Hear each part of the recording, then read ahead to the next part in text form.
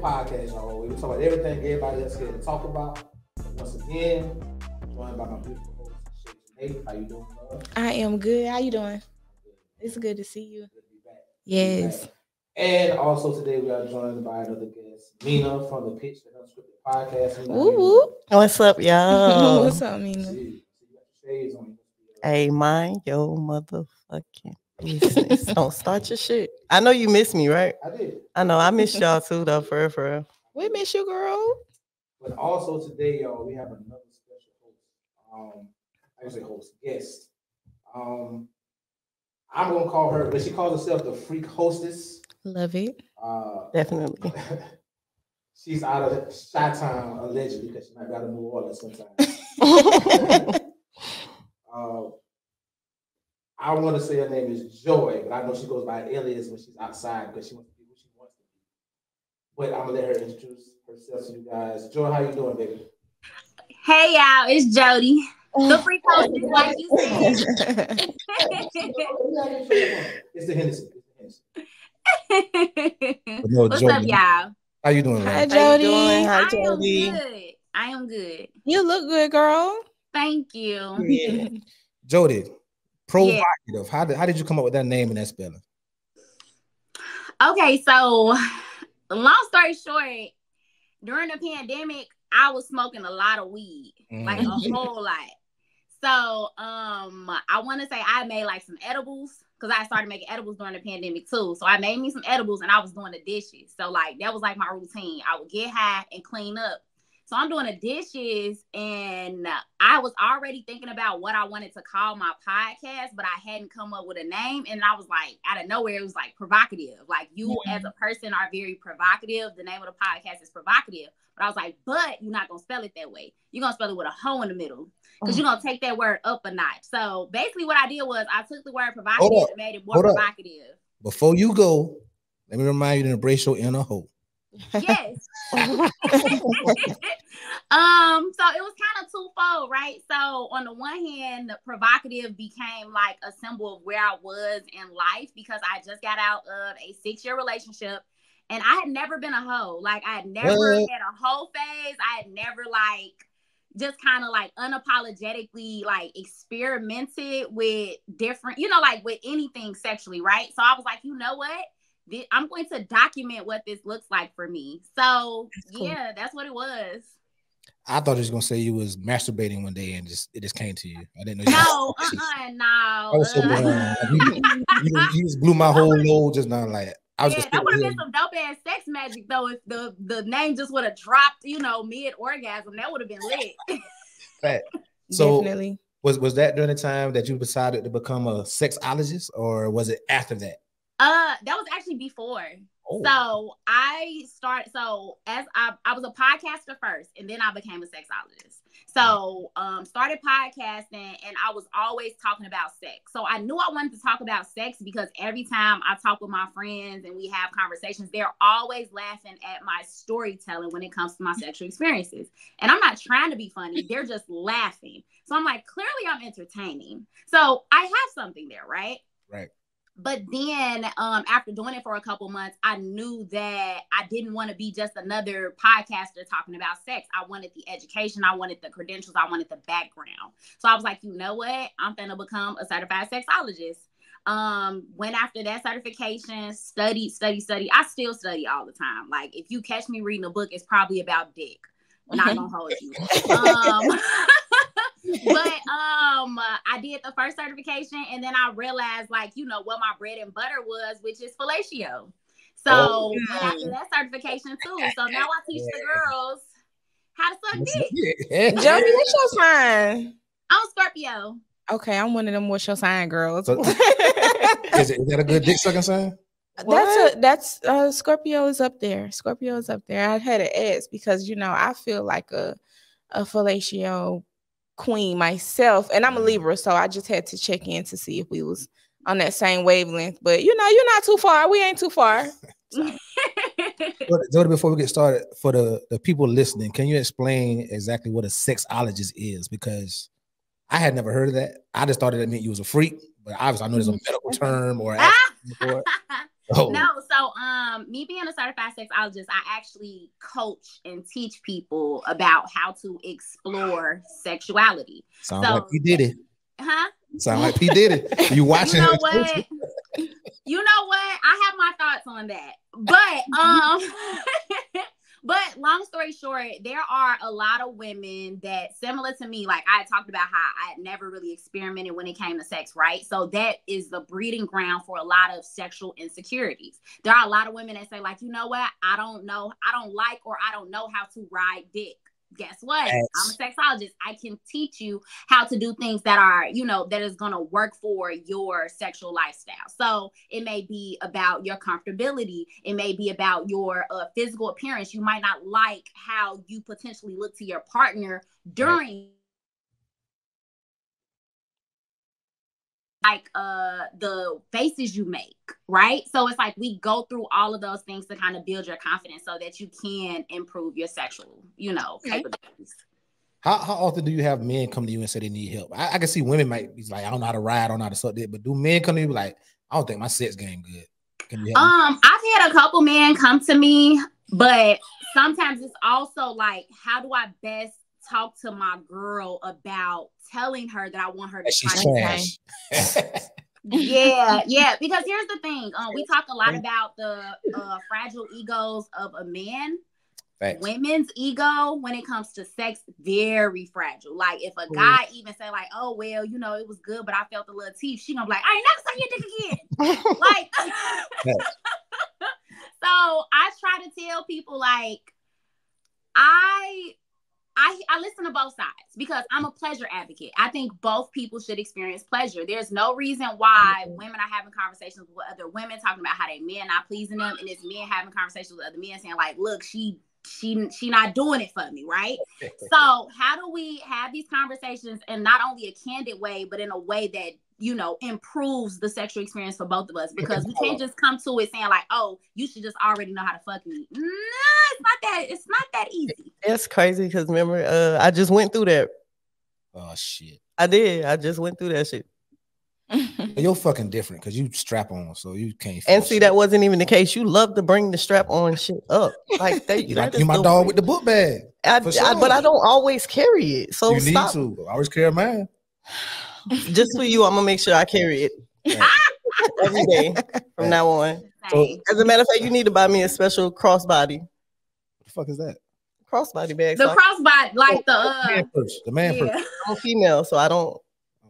I, I, I could look at that. It was the Cain Able on it too. That's fine. Okay, Let's go. So Jody, here when we have a new guest, what we like to do is we like to ask our guests to give us a number between one and 30. thirteen. 13. You go for looks or personality. And because you're very sexual and you're uh kinky, answer in that in that form. Um, looks are the first thing we see. Mhm. I'm a I'm gonna see you before I you even open your mouth. So, uh, on the one hand, I want to say, oh, I go for the personality, but I'm a shallow ass bitch, and I'm not even gonna hold y'all.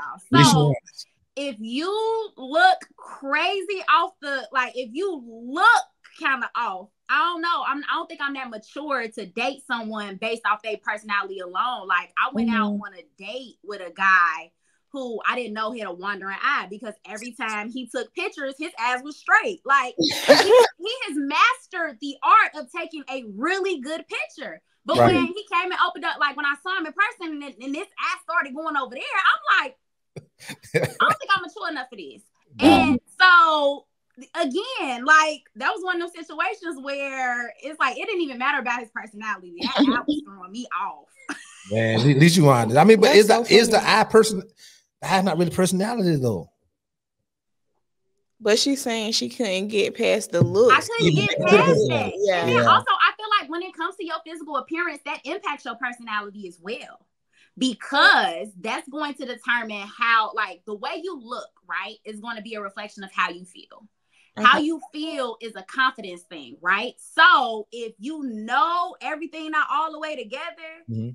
it's a great chance your confidence is not all the way up there. I don't know. And I- I, definitely need somebody that's like super confident to mess somebody like me. Like y'all see the shit I post. I know some I know some cocky ugly bitches now. Hey, I know some cocky ugly bitches now. Uh huh. But it's their confidence is coming from somewhere. They probably got a fat ass. You know how to suck dick. Or that. That's what I'm saying. Like, it's certain things where it's like, all right, your confidence has to come from somewhere. But a lot of times, even if you you could be butt ugly, but you gonna put that shit on. You Mm-hmm. gonna dress a certain way. You gonna do things that uh, you know, like whatever your assets are. You're gonna do something that highlights that. Right. Okay, I like an answer. Give me one more number, and then we're gonna jump into it. Um, 19. 19. Let's see. I got two 19. Let me see which one I want to get you. I got one. Um, 19. Could you be with someone who slept with your best friend? Why or why not? Was it a threesome? No. Um,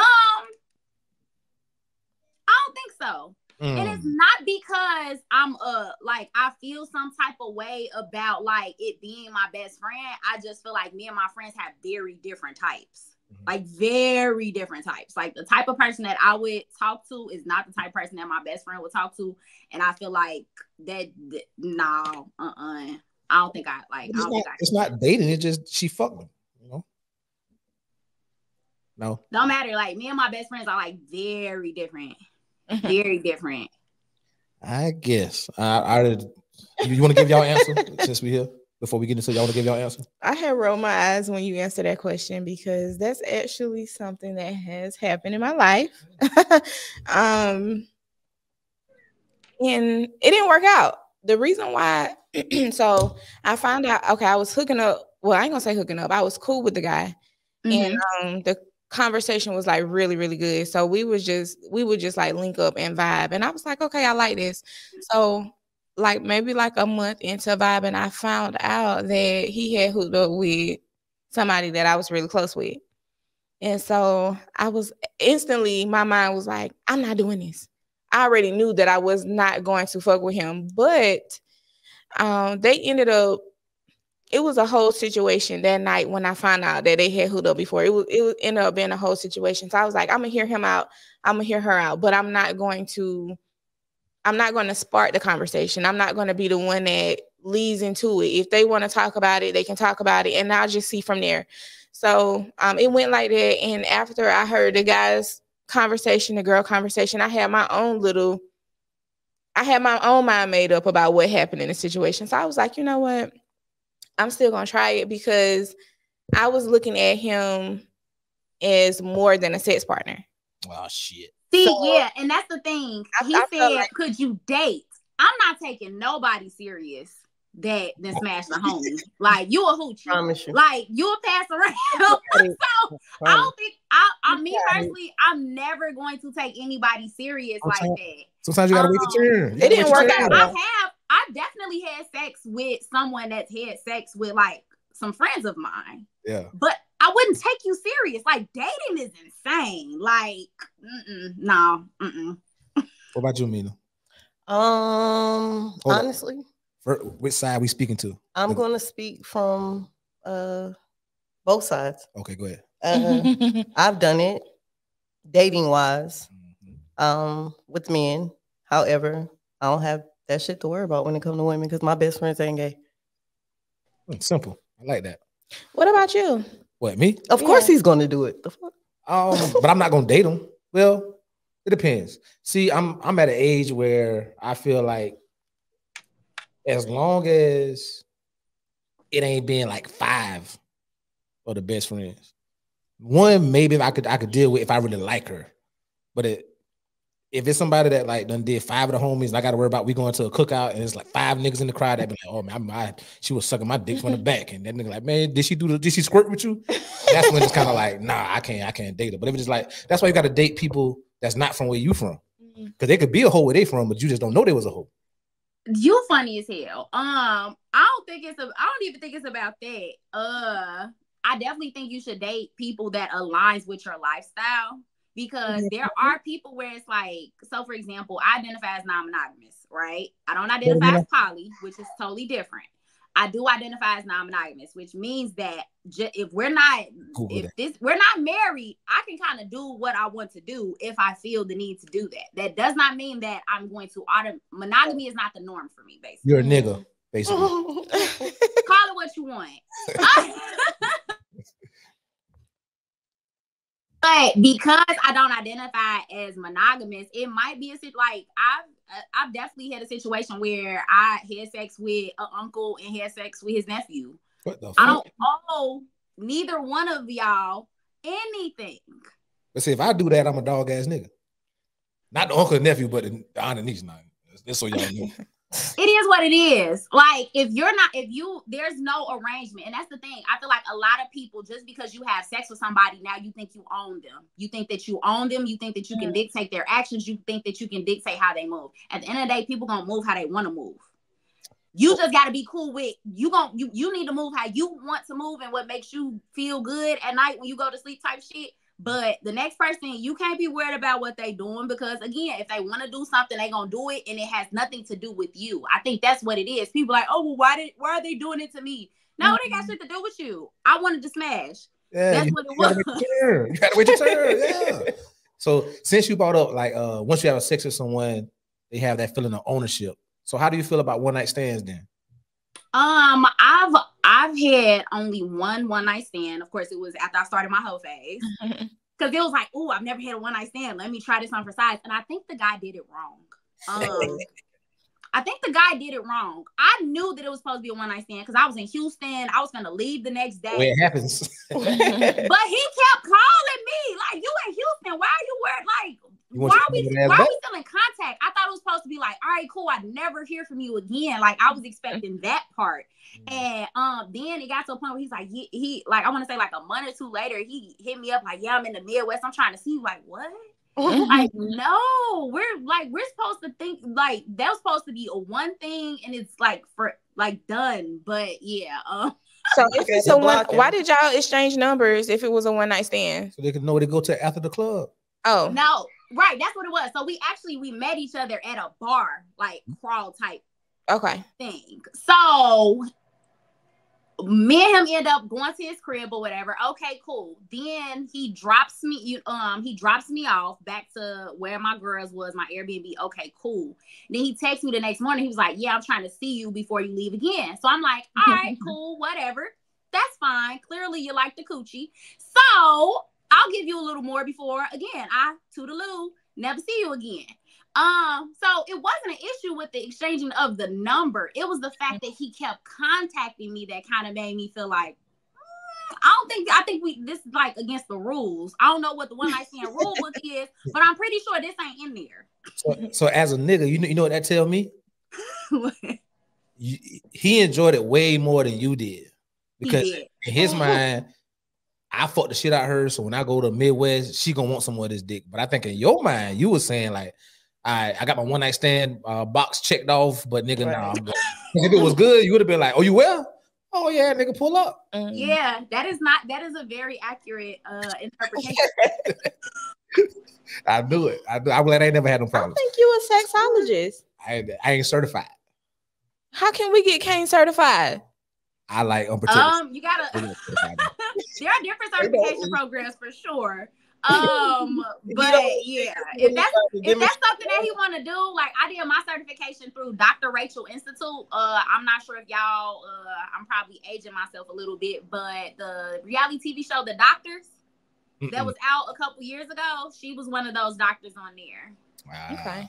So Mena, uh, Shae, how y'all feel about one night stands, or is that something y'all too bougie for? I know one of y'all bet not lie. He must be talking about you, Mena. I've done them. A Have- good bit of them. Did- Shit.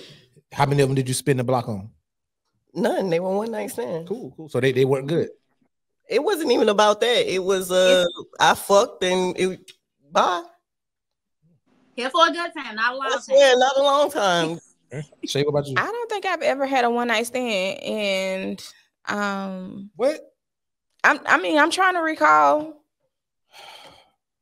Jody, you have to excuse us. Please, No, y'all good. I think I'm, I'm I said, experienced now. I'm an experienced person, so I'm just trying to go through my catalog here and Not see the like, catalog. Yeah, I-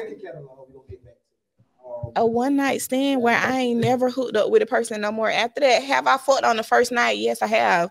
But it's a difference between fucking on the first night and a one night stand. It is. So So I'm sure uh, Jody, I listen to your podcast, and you've had a threesome before. Mm. Uh, Multiple. I had one this week. hey, Okay. Fuck out. You feeling good today? Yeah, I'm a unicorn. Um, The third person involved is the first time you met that person. You never talked to them again. Would that be considered? wait, say that again. I can't hear you. Give it up. Give it up. Um, it's super low. I could barely hear you. We live in a uh, trap house. so we our wireless. You good? Now, we probably will probably want to buy it. Well, by now, there we go. Oh, that's good. There we go. Big Daddy back. All right. So what I was saying was, uh, say you're with somebody you usually have sex with on a regular, right? And then y'all bring in a third person that you've never met before. That Uh, just happened. facts. So if you never have sex with that person again, would that be considered a one night stand? That third person? No, no, I wouldn't because that's it's it's a totally different dynamic at that point. Like now we talking about within the threesome realm, and also I think part of something being a one night stand is your intentions behind it. Like you intend for that to be a one night stand as well. Like I'm not going to do this again. But after the one that just happened this week, I'm like, oh yeah, we could fuck her again. Wow. Where the, where, where the hell these type of women at in South Carolina? Good God um, so, so all you guys, I want to ask you guys because I've never had a threesome. I have great sex, but I've never had a threesome. Nobody wants to share me. Um, Mhm. But when you guys do have threesomes, do you like when you're the third person or have it maybe? Do you fully participate? Like you trying to show off? You trying to goddamn put it down, or are you just a willing participant that just going through the motions to get through it to say I fulfilled my partner's fantasy, or this is something they wanted to do, so I just tagged along, or are you in that motherfucker trying to show off? Okay, I definitely um and I I tell people that if you've never had a threesome, don't do it because you're trying to fulfill your partner's fantasy. That is the that's a surefire way for you not to enjoy. I'm trying to fulfill my fantasy. yeah, but that's what I'm saying. Like you, but both of you guys have to want to engage in that, right? Right. So I've been in a situation. Um, my very first threesome, I could tell that the girl was doing it for the guy. And when the girl, when a girl does something for a guy and not for herself, it is not a pleasurable experience for anybody because mm-hmm. there's weird energy in the room now. Right. So my very first threesome, it was kind of a one and a half some. Me and the girl was not really interacting. Like it just it, it didn't hit. And then when I had a threesome that did hit, and it was with a married couple, I'm like, you can tell that you're a part. You're you're just bring you're being brought in to experience love within their dynamic. So you're kind of getting a glimpse of what it is that they experience, right? So you can see the boundaries, you can see the respect, you can see the love. You literally like it's like you you you. Well, I'm from Chicago, so we be stepping. It's like when the that older smooth guy stepping Mhm. with two ladies and everybody moving and grooving. That's exactly what a threesome should feel like. It should just be a beautiful dance that you just invited someone else to experience with you. Um, also, um, so one, you definitely have to uh you have to want it. So I've been the third, and then this last time I was the person who we- we brought a third into. So I've been in both situations, right? Um, as a third, you cannot assume that you you you kind of have to get a feel for what's going on between the, the couple because nonverbal communication is what 55% of communication? So you'll be able to pick up off that what is kind of acceptable and what's not acceptable. But i tell people uh if as a woman if you know that you're not down to eat no pussy don't even do it. Don't have a threesome. Don't do it. Just don't do it at all because I wish you would think that you finna invite me to your bedroom and I'ma just be eating pussy Oh, and yeah. eating dick and not getting. You can go I to hell. girl say that. Right, she it's giving me. sex She- You slave. can go to hell because I don't even like. I look. Look, I'm a. I'm a. I'm a hetero flexible. I'm not a bisexual female. I like freaky shit, but I'm not equally attracted to women and men. So I'm the type of person where it's like, no, I have to. You know, I'm here for the experience. I'm not here because I'm attracted to women. That's not what it is. I'm just a freaky bitch that like doing freaky shit. Mhm. So, So- are you jumping off the dresser during that time? If you If I feel like it. okay. But if the energy off, you kind of just like gonna get through it. Yeah, so it's definitely it's a vibe thing. I feel like you know how like uh when you see women dancing on each other in a club and it just it just seems like they in sync. Yeah. That's what it should be. You just gotta. It's it's a nonverbal thing. You have to really feel that energy, whatever that energy is. So it's like, all right, cool. You can tell what's acceptable and what's not acceptable. When I had the threesome with the um married couple, the the husband didn't penetrate me, and I was perfectly fine with that. I was sucking. I was sucking dick. I was sucking dick, but the husband didn't penetrate me, and I was perfectly fine with that because I ended up having another threesome the following day, and that that man did penetrate me. so it all worked out. I was happy with the outcome.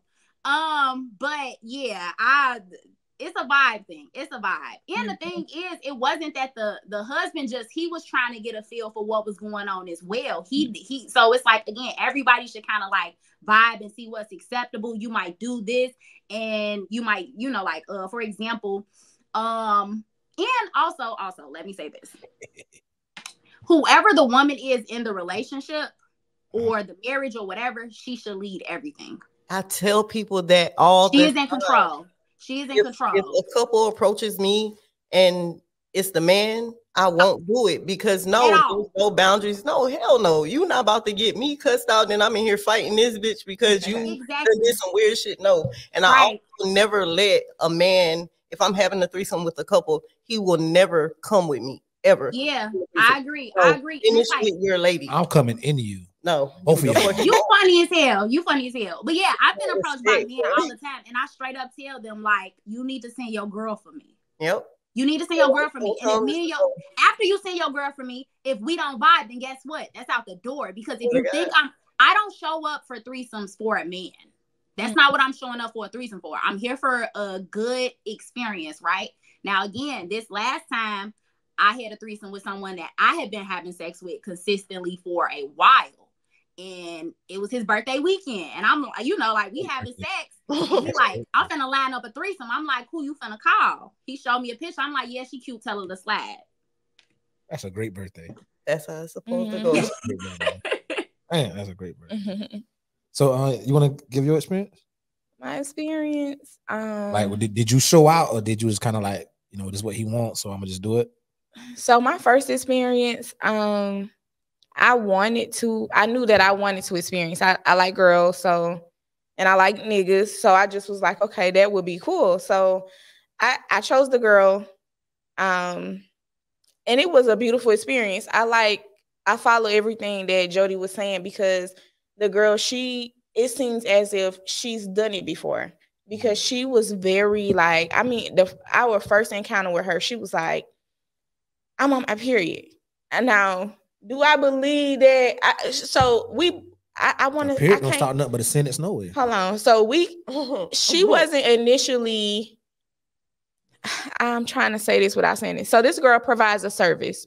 I booked her for a service, but me and her always flirted with each other. So it Mhm. was just like, all right, girl, you get over here with me and my nigga. Ain't no telling. So it was just kind of a conversation like that. Right. So, um, she asked me like when we were because we rode together, everything. She was like, you know, what's off limits? And I was just like, you know, we just vibing. There's nothing off limits. So I appreciated that. But when we got there, well, when we was on the way, that's when she told me that she was on her period or whatever. And I just feel like, honestly, I don't think she was on it. I think that was just her way of like, I want to see how y'all interact first.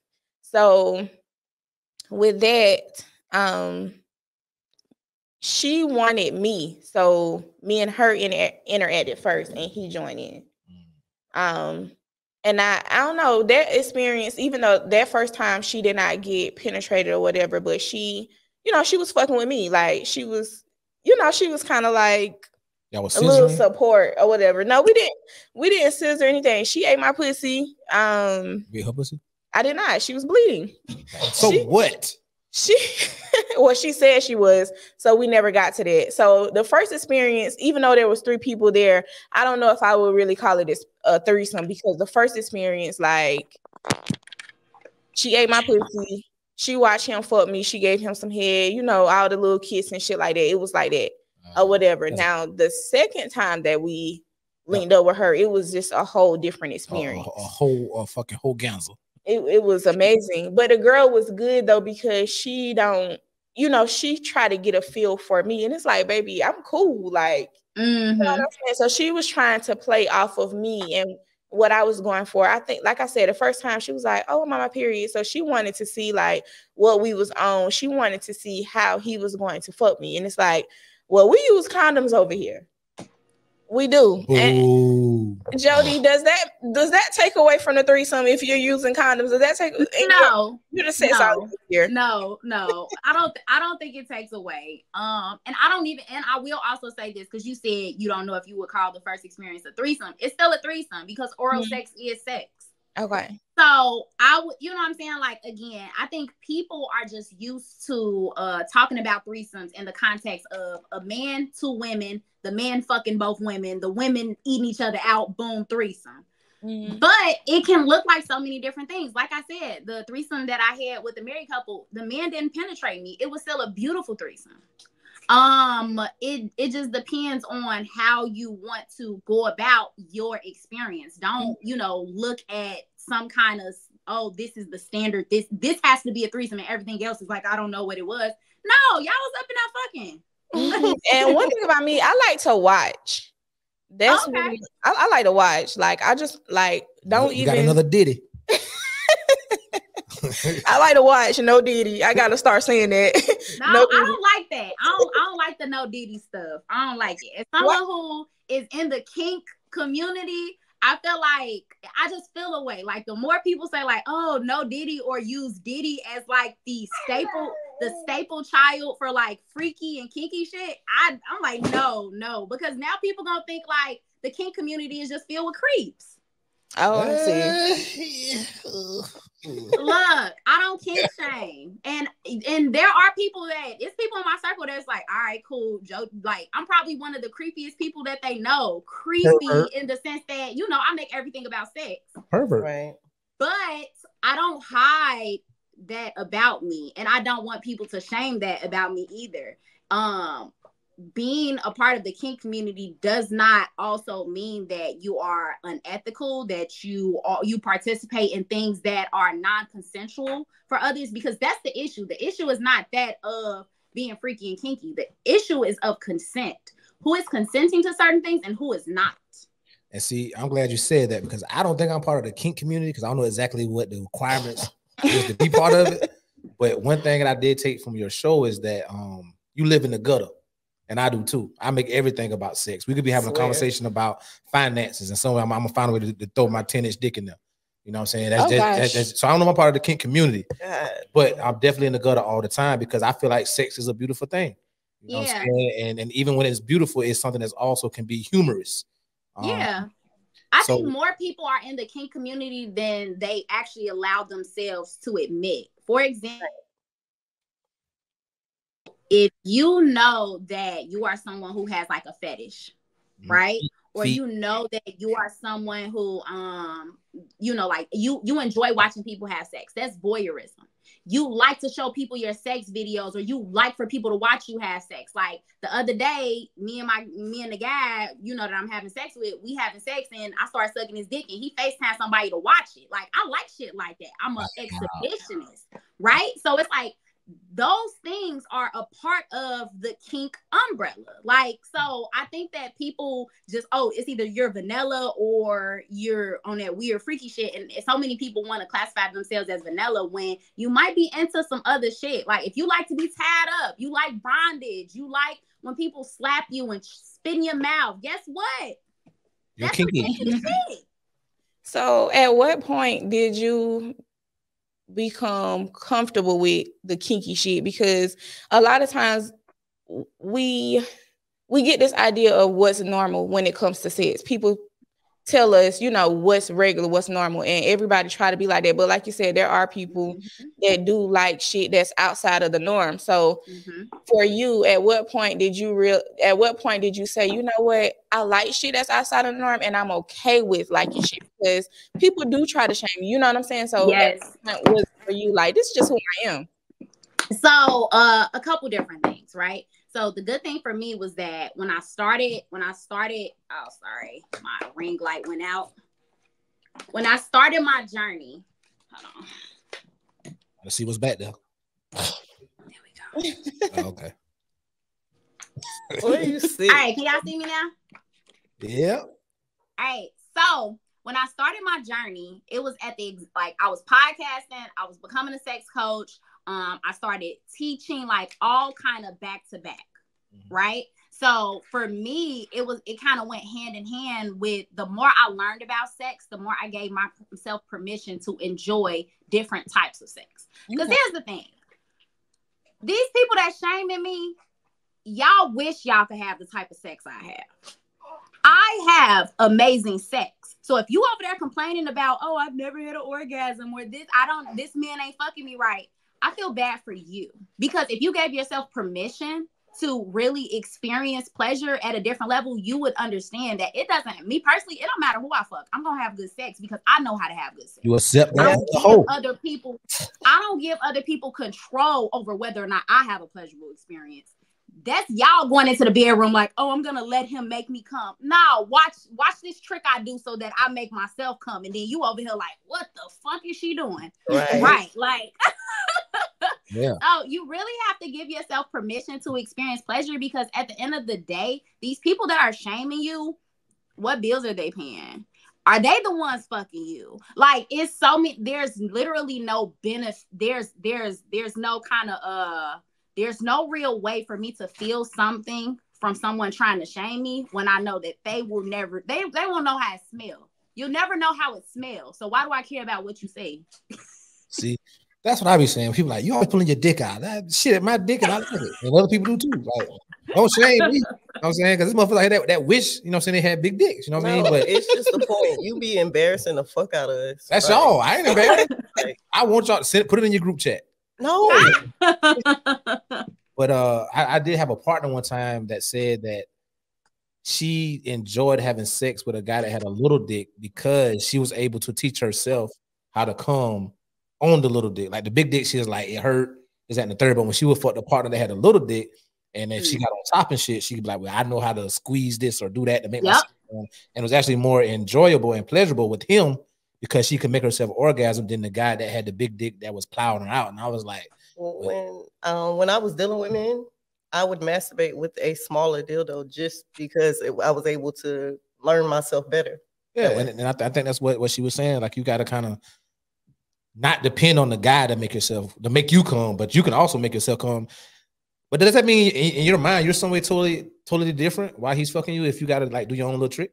No, Not necessarily, not necessarily, because in the same way when you masturbate, you have to you mentally, emotionally, physically, you have to make sure that you're present, right? Because that's the only way that you'll be able to experience it to begin with. I'm not saying that you have to be thinking about another motherfucker. That's I'm totally that's no.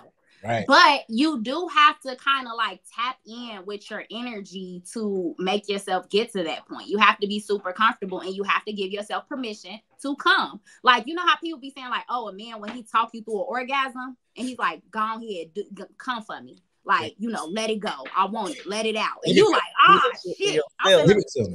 Yeah. Give me that shit. Let it go. Shit. exactly because again like as women we've been women have been socially constructed to not enjoy sex right like we're always being shamed for you know sexual being sexually liberated or be you know our sexual expression whereas men is like yeah you know what I'm saying? They get a pat on the back. The moment that a woman is open sexually, it's like, oh, she a hoe, she a slut, she this, she that. I love them. But here's none of again, none of that matters. That and women, again, we've been socially constructed to view sex as like, oh well, this is something that men do to me. That's women have been socially constructed to view sex as something that men do to us Right. versus something that we experience together. Yep. And it's crazy that you say that about masturbating. You have to physically be there because when I used to masturbate and watch pornos, if I came before the guy on the porno finished, that mean I nutted the girl he was fucking on the porno. That is interesting. Like, damn, so you need a plan B. Like I, I came first, so like damn. That I'm is saying? hilarious. I mean, That you know, hilarious. that's how I thought I trained myself when I was younger. Like, cause you know, when you were like middle school, high school, I don't know how. I think you say you were thirty when you enter your hoe phase. Yes, 30. So like in high middle school and high school, when guys start losing their virginity, the biggest fear is you got a small dick or you come fast. I ain't had to worry about. And the small- watching porn is gonna definitely make you think you got a small dick, even if it ain't. I wasn't worried. I wasn't worried. the second part about coming fast, I was. So I what I used to do was I watch a porn and I jack off, and when I'm feeling about to come, I stop, and the shit go back down, and then I start jacking off again. You're edging. So you were edging. So now when I when I finally have sex, my mind is always already trained to uh let that shit drop. So now girls like, God damn, you ain't came yet. But that's when I had to learn the difference between fucking for a long time. Sometimes you fuck so long it ain't pleasurable no more to Mm. the right amount of time to Mhm. take that shit out of you because like you done been plowing her for an hour, like nigga, she ain't enjoying the shit. Right. So uh, yeah, yeah. that whole thing about the masturbating part, that was very helpful for me to be able to be, I think, a decent sex partner because I didn't want to be in that group chat about that nigga nut in three minutes. You know what I'm saying? Yeah, yeah. Um, I definitely I tell people all the time, if you have not edged, start. Start. Y'all Uh, edged? Y'all I, is? I have. You too? I'm an edger. I didn't know what that was until I listened to your podcast. I didn't know that was a thing. Really? I, I just thought I was like, uh, yeah. I thought I was doing like it's a it's it's a surefire way to make sure that you last a very long time. Yeah, I thought I was doing so maintenance. because I because I edge so much, like when it comes to threesomes and stuff like that, yeah, it's up. Yeah, I, I mean, I I didn't know. use the edge when it comes to dealing with a woman. Like a man is it's okay. Like I my it's it's there. But when it comes to like dealing with a woman, I don't know why, but it like I come so fast and then I be doing the oh, bitch. Oh yeah, no. And see, The and that's- girl be and the that's why girl be more experienced. That's why I but had the edge because you know women could have multiple orgasms and y'all keep And going. keep going. But with Yep. niggas, depending on the situation, once we get that first one out of there, I talk to you in the morning. I don't feel that with a, when I deal with a woman like I probably can get two, and then after that, it's like, "Ooh, girl, like you know," and the girl That be too- looking at me like, is- "Are you done?" Cause see, yeah, like, that you, too is crazy. Like for us men, like we done been sitting with you at the bar, or whatever, buying your drinks. We looking at you like I'm about to fuck shit out her. I'm on this Hennessy. You know what I'm saying? A nigga might be done snuck a honey pack in the bathroom. You know what I'm saying? He done built this shit up. And then he hit you for a good 30, 45, and he busts out of this world. I'm talking about heart about to thump out his chest. And then the girl be like, okay, round two. That nigga gonna be like, who? So in order to prevent that, let me go ahead and edge you, as you say, for about an hour. That way you don't want no round two. I don't want no round two. We just wake up tomorrow with the stank breath. We, we start over. But I'm. I, I, I gave y'all a head. I gave y'all a head. Um, Jody, I, I want to get to uh, one more topic that I, I heard you talk about, which was um, correct me if I say it wrong, but consensual and non-consent fantasy. I think is what you said. yes. Yeah. Okay. So before you go on about that, um, I had a conversation with a bunch of friends of mine, some male, some female, was all at a kickback. And I told them that men have, and don't take this the wrong way, uh, y'all people out there, more men have raped women than they know. And by that I mean I'm not about talking about the physical hold down, took it rape. I mean more like Sexual short assault. at, she's short at the kickback, she's throwing those shots back, she's drunk, and you put your eye You on her. like, encouraging her to drink. yeah, I'm gonna get her. You know what I'm saying? Because now when she's get once she gets a li- inebriated, she can't fully say yes or no. You know what I'm saying? But and you know, as a man, the drunker I get her, the easier it's gonna be.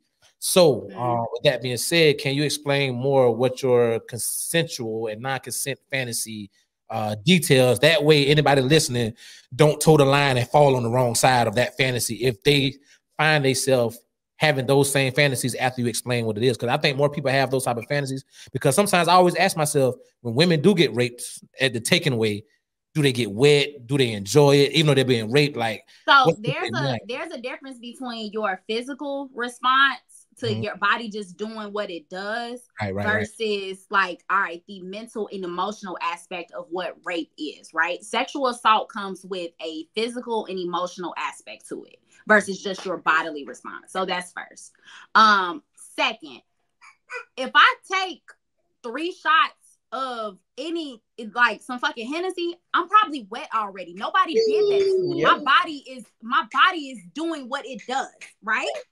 So those things kind of there's no real correlation there. Um also if you if this is your first I uh so one of my uh one of my uh really good friends always talks about how like he will not have sex with a woman for the first time if she's been drinking.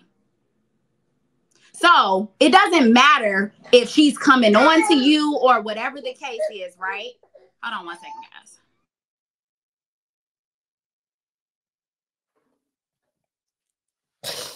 You need to grow up.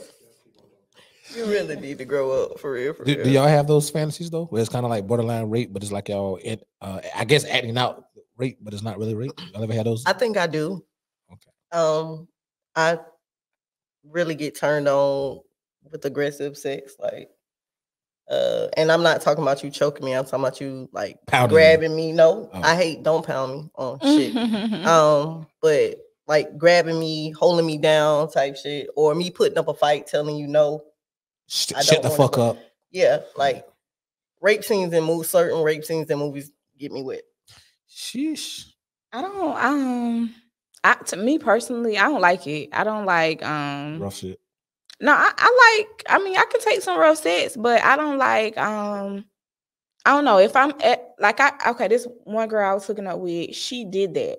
She, She- stood. No, she filmed. She's Okay. cute as fuck. We went out of town, went all out, this and that. Oh, I know who you talking came back and um we got back to the hotel room and I was going to like fuck her and she was just like "Mm, no like you know she acted like she didn't want it and to me that had I knew that you know after the next day I was like okay she wanted me to take it but I don't want to do that and I don't want nobody to feel like I want them to do that baby I am willing like if it Come get this pussy.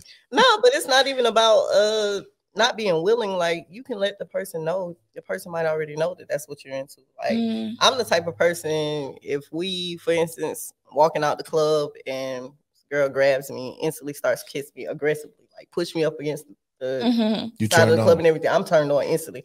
But I'm just like, hold on, wait, let's get out of the public eye. You can keep that aggressive shit because I love it. At this point, I want to go to the crib.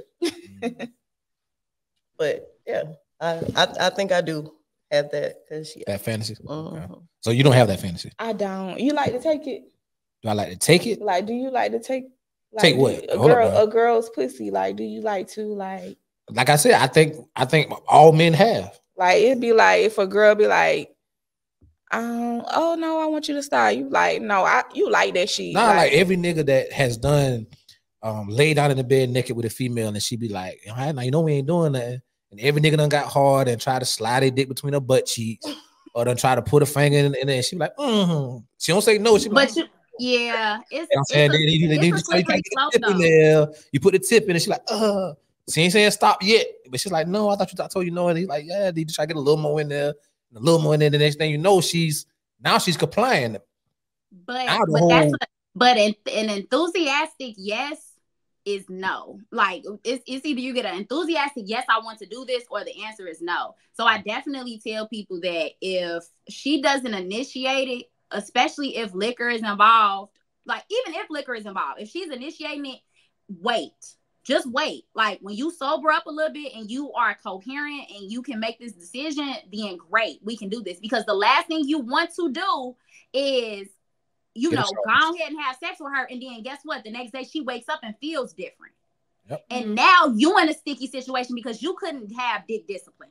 Yep. So it no, ain't no, oh, I'm gonna try to just slap my dick between her butt cheeks and see what she gonna let me get away with. No, just don't do it. It's not worth it. It's not worth it because now you're labeled as uh, you know, uh sexual Rapist. assault, um, Yeah. you know, having, you know, committed sexual assault. And once you labeled as that, once you labeled as somebody that just take pussy, Mhm. and see, and that's the crazy thing. When I had that conversation, you would be surprised how many of the guys in the room was like, "Yeah, I did that shit in college." But that's because we are, um, again, the same way that women are socially, you know, con- we're socialized to not, you know, like participate in sex. Like women are, like young boys are told go out there and have sex. Girls are told don't do it at all. Mhm. until you're we're married, being told two totally different things. Right. So what are these little boys doing with these little girls? You see what I'm saying? Or if we, um, so it's it's it's so many different layers, and I'm just gonna try to Mhm. like stick with one. Um, but uh our there's so much rape culture ingrained in our society, like from the movies, like The music. you look at any of the Twilight vampire movies, there's there's rape culture. Like and it, you know, like uh, we we see like the the teenage girl who falls for the older man who comes and sweeps her off. The, that's grooming, right? So it's like we see titty so shit. Much- yeah, like we see so much uh we see so much things uh we see so many things that are romanticized Mm. about sexual assault. So we think that that's how it's supposed to be, but it's not. And we know that it's not because guess what? That's how a lot of people get these cases. And that's because them people up there be doing that shit. Them people, them rich people up there, they be doing that shit. That's why they, they kind of try to like uh soften it by showing it in, in movies like Twilight and stuff like that. Like, Mhm.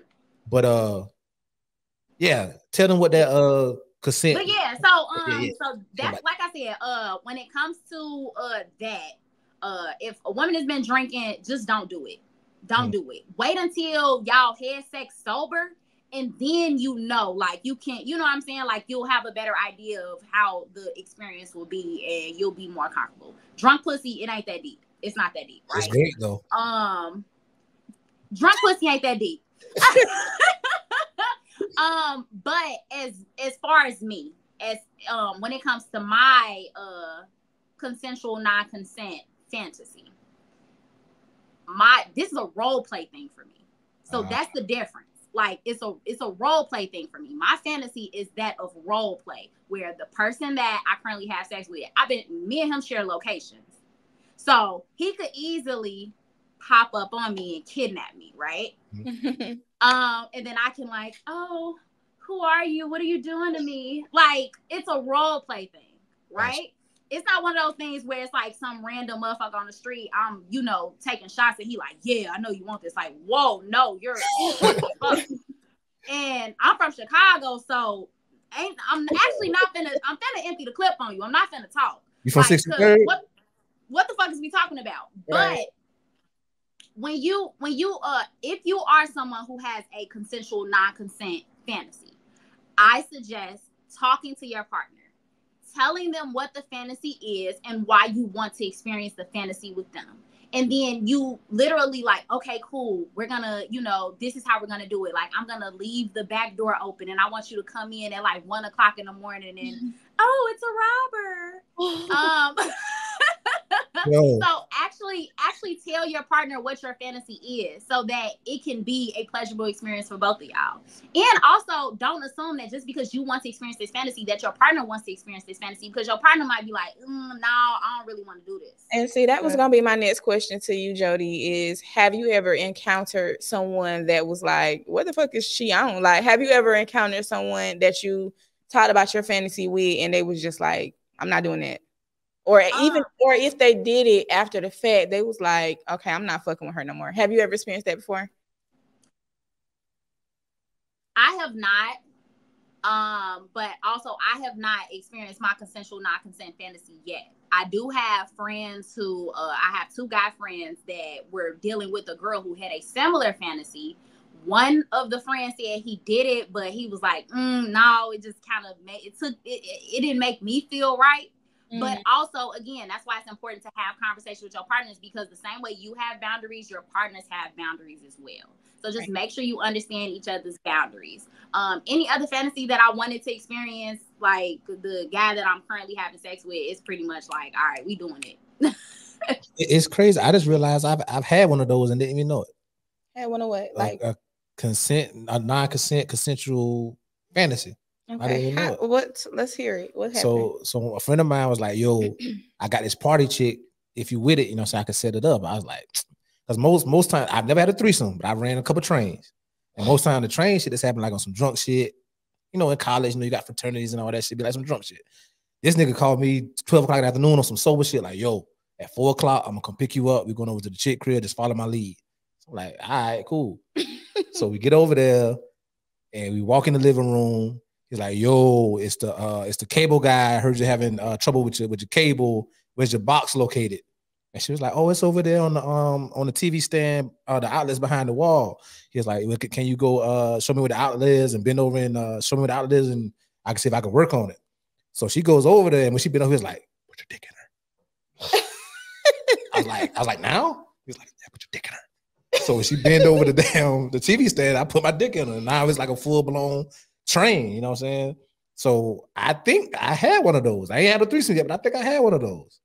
That is So we- Uh, I'm, we- a threesome. I, I hate to be, I hate to break it to you, but that was a threesome. Right, that is a Oh, no, threesome. no, no, no. A threesome is two No, girls, one guy. that is guy. a threesome, sir. no, What did we talk about earlier? What did we talk about earlier? How people want to say that no, a threesome has to look like this. my Right. perception is my reality. No, you full of shit.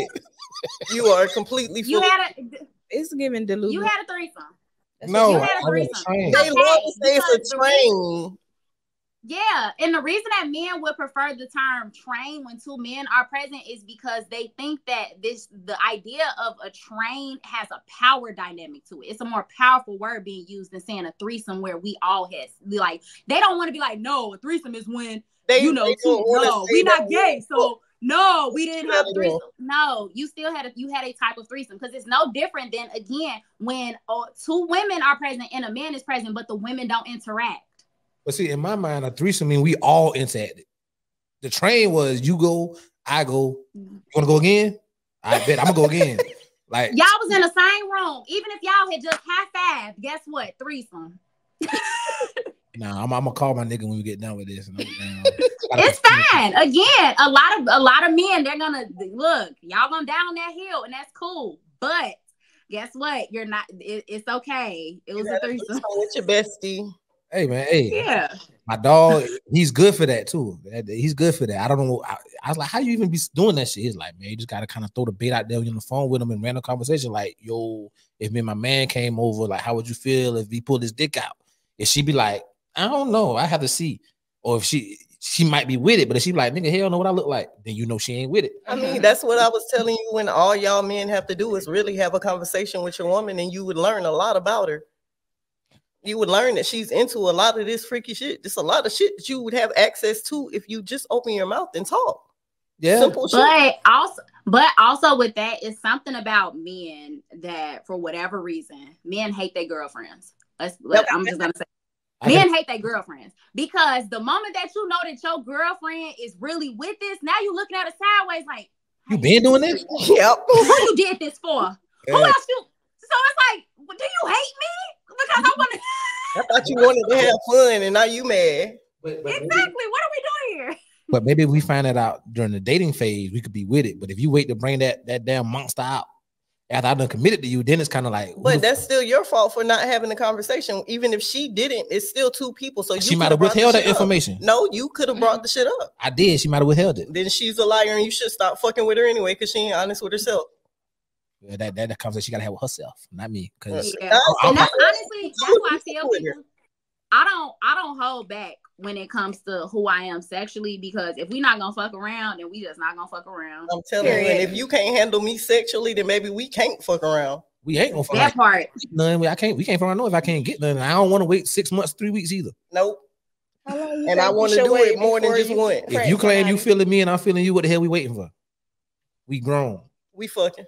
Yeah, I ain't got that six month shit for what? And then I get it in this trash. No. Right. Because if it ain't nasty, I'm definitely, I definitely don't want it. So, lastly, hoe phase. You've had your hoe phase yet? I have. You had your hoe phase? Oh, you definitely had your. No, you- I had my whole you don't even know. So, how important is body count in today's society? Now that more people are being more sexual, more open about their sexuality, their uh, uh flexibleness or whatever what you call earlier. How important is uh, how important is body count now? And is it as shameful to know your body count or say it as it was say 10, 15 years ago? Because back then you'd be like, oh, I only had five bodies, but you'd be lying. As now, can you be honest with yourself and people and it shouldn't be a problem if you had 100 partners or 90 partners? Hold on, my connection kind of messing up. Hold on. Body count don't matter to me at this point because I'm I'm gonna just mind my business. What you did before me ain't got shit to do with me. As long as you ain't got the damn, I the swear damn to God, ninja. as long as you ain't got no shit, we good. As long as you ain't got that ninja. Yeah, I don't. I'm not a um, body count kind of girl. Now I ain't gonna cap. It can be. It doesn't have to be the body count, but sometimes it can be A certain who person. in that body count that made me be like, okay, Yeah. I don't know. How the hell he gonna remember? No, it, it don't. It's not up to him to remember. People talk. People talk true. True. People talk. Probably 40% of the ass I got came from people talking. I'm- I ain't gonna lie to you. You right. Cause mm-hmm. yeah. Yeah. What? That's- that's so why- what that's they why say? Oh, that's Oh, such love- and such I got don't some know what good they say. pussy, That's and why- then that's- you then you go for if they if you heard it. Like, what does the com- when you say people talk? What does that conversation look like? sometimes sometimes niggas talk too much because they want to brag to say that they got somebody that other niggas ain't had, not knowing that female might have been already been interested in one of those other brothers, but you just got her first. Uh, sometimes niggas might not even be interested at all, and y'all just sitting around kicking the shit. They be like, bro, that motherfucker got down, suck your dick till her eyes water. Mm, And then a nigga be like, shit, I want to, I want to see what that be like. mm. Next thing you know, you hit them up on, on the inbox or something, and you see what they bite. Some girls will say, "Well, you know, I, I fucked your homeboy." I'm saying some girls are act oblivious and don't even say shit. You know what I'm saying? It is with it, like whatever, whatever.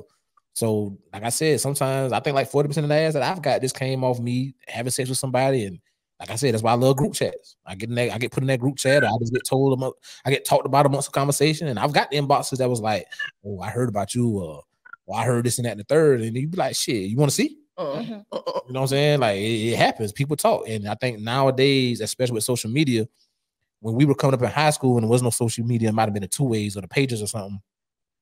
You got to wait till you confront that person physically to be like to see if they damn gonna bite. Whereas now, I can hear something about you at 502 amongst a group conversation, and I can inbox you at 504. You know what I'm saying? Whereas back then, you had in high school or fresh in college, you heard something about somebody, you had to wait till you caught their ass in the hallway or something. Mhm. You know what I'm saying? Whereas now it's the the communication is so plentiful to where now like I can get in contact with her, I can see what she with it. You know what I'm saying? And then now it depends it comes to whether or not the nigga's a tender dick that told you the information. Mhm. Cause the same way she told me, hey, before we do this, you know, I fucked your homeboy. After you fuck her, she go back and say, hey, you know, I fucked your homeboy. Is that homeboy go dig and be like, well, damn, nigga, how you backdoor me like that? You know what I'm saying? Some niggas be like that. Me, if she gonna give it to you, my brother, hey, more power to you. Ooh. Y'all niggas is I mean, one time somebody was like, hey, you don't know your dick in the group chat. I said, good, good. they won't tee me up like that. Nah, they could tee me, pee me, whatever. That's what I was saying too when Yeah. they did that shit. I don't know Tee what people up. say about me. I don't know what my little... Shit, you saw what Facebook said about you. Ain't it? You know, we had this whole conversation, baby. You was viral. Say she got that macaroni. I ain't lying. Say that shit loud too. She got that macaroni. I think honestly, I think that was a public publicity stunt. I think because why would Well, I be? who- I mean, Why would I be first? I think that was just But did you They went by capitalize hype. off people of it? going. They went You by say hype. what? Did you capitalize off of it? Because I Um, wanted y'all to. I was rooting for y'all. I didn't um because it was just a lot of mixed things. Like there were people that I got a middle school age child. Um, she's not she got certain socials, but she don't got Facebook. Um, but there are a lot of kids that have Facebook, and I've seen like young kids sharing this, like who these old assholes is, like you know, I've seen different stuff like that. So it was like, oh my god, I don't want my child to be associated with something like this. I don't want nobody to make her middle school years fucking terrible because her mama got some good pussy. But and it and then it was like a lot of people just took what they wanted to take from it. Oh, y'all, if your pussy get too wet, you got something. Or oh, if your um how all these people know your pussy wet. It and it did- it really came down to if someone inboxed you and just said your name. And I I think I think for me, honestly, especially put me first, I think that was just to get the shit going because people know I play on social media. It went They- by hype. I got like I got like a lot of followers, a lot of interaction on my social media. Right. So I think it was just something to Something they just made up. and Honestly. keep- yeah. honestly, and I'm not gonna take away from my pussy now. It is macaroni. It is. Period. So that mean, so that mean your butt lasagna? God. Lasagna is crazy. I don't know what my butt is because I don't play around. Like I don't I don't know what my butt give me, honestly.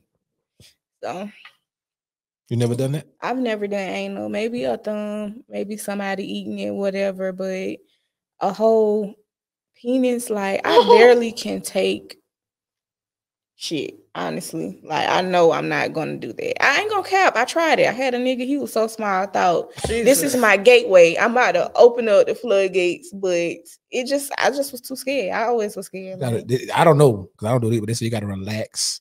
that's what they say. breathe. I've done it. Yeah, we it ain't too much. We don't think you did. What you what you think about it? I'm flabbergasted. No, you're Um, you're uh f- f- f- PrHOEvocative. What you how would you rate anal? um, it's really situational for me. Mm, or circumstantial, I guess. Um, it's based on how I'm feeling uh at that time. If you get me to that point and I decide I want it, um, then I'll do it. But if you ask me, I'm probably gonna be like, hell no, we're not doing it. So it's like, is it like on a scale of one to ten, as far as pleasurable, how would you rate it? Mm, about a three. So it ain't nothing that you gonna go in the bedroom like I Saying, oh, you about to fuck me in my ass now. That is not gonna be the start of that. Mm, I don't know. I've I've never done it. You know what I'm saying? So I can't tell you myself. Um, with that being said, I think we had some technical difficult. Hold up, let's see. Oh, let's see. Jody right on time. Right on time. I don't even know remember where we was at. We can't hear you, Jody. There you go. Now, There we go. You you you owe us three minutes. okay. So so um I, we, we know we only, we only had you for an hour, so we don't want to you know I mean go too far over. So can you can spend those three minutes um basically you know plugging in your podcast where they can find you at um your Patreon all that good stuff. Yeah, sure. So, uh, PrHOEvocative. Um, the podcast, of course, drops every Wednesday on all streaming platforms. Uh, that's P R H O E V O C A T I V E. Um, uh, what else? Uh, definitely can subscribe to my Patreon. I got a bunch of dope content that's about to drop on Patreon. Um, I'm also a cast member of the new reality TV show on OWN network called The Never Ever Mets. That is dropping on April 19th. So you guys can see me on TV on April 19th. Um, that's gonna be interesting. Um, what else? Um, uh, Even your socials. yeah, follow me on Instagram. Follow me on Instagram. Not every on every so like nah, I definitely don't want to plug all my socials, but definitely follow me on Instagram. that's where I frequent. Um, my Instagram is J O D Y P R H O E. So Jody P R Ho. Um, No. I'll try to see what else. Um, if you guys are in the Chicago area and gonna be at Exxxotica, y'all can catch me there. Um, and yeah, that's it. Exxxotica. Exxxotica, it is the biggest Swinger club. porn. It is the biggest porn and adult entertainment conference in the nation. So, You about to do uh, porn? yeah, huh? You about to do porn? No, I'm not about to be do porn, but I like you know kicking it with the porn stars for sure. Nice, nice. Um, Mena, where we can find you at? Um, y'all can find me on Facebook at Mena Hawkins or on the podcast page, Pitch'd and Unscript'd. Shae. Um, so y'all can find me on Facebook, Shae Genee. Um, on Instagram is underscore you love Shae Genee. And then of course, I am on the Cain is Able podcast every Wednesday. Every Wednesday. All streaming platforms, by the way. And of course, you know, you can find us as a group at the Cain is Able podcast. Um, if you have any topics you want us to discuss, uh, any questions you have for us, or any questions you may even have for Jody, uh, email us at cainisablepod at gmail.com. You can find me at Hennessy Black on Facebook, Instagram, and Twitter. I'm sorry, X underscore Hennessy Black with two C's. Uh, Snapchat, Hit on the Rocks. And again, Jody, want to thank you for taking your time out this Saturday Yes. to join us, uh, educate us, uh, let me know that I did not have my consent, non-consent fantasy that I thought I had, but now I got to try again. Um, so now I can't, I can't say I did. I never had a threesome because according to y'all, I've had one. With your bestie. Yeah, it's fine. You just have you want to have a different type of threesome next go round. Right. So 'cause yeah, I encourage you to. uh It should be all friends. I, you know, you know, I I'd rather it be all girls, but have it have it fall as long as it ain't three men because it ain't going out like that. Mm. No, I'm saying like you should probably find a female friend that is like with that, and then Yeah. you guys can go from there. Okay. Well, Jody, we, if you can, we got to bring you back. We know you're a busy person, but you know, um, if you ever Right. find time for us, definitely come back, uh, educate some of our followers. Um, Yeah, for you know, sure. Yeah, you know, because you know, we, we just think we fucking. We ain't know there's no rules and guidelines behind it. We just think we out here fucking. Either you good at it or you bad at it. See, that's the problem because it's more than just being good and bad. It's Well, that's what we're gonna we're gonna bring you on for to keep teaching us. You know what I mean? So until next Right. time, Jody, you enjoy the rest of your day, your weekend. Um, don't get your back blown out. I think you should. I really It's think Easter I think I should too. Matter Yeah. of fact, now let me call this man. Hey, And I'm about Hey. to go somewhere. Shit. that E- hey, that Easter bunny better drop that egg. I want my eggs cracked. All right, Joe. The love you. See you later. All right, see y'all. hey.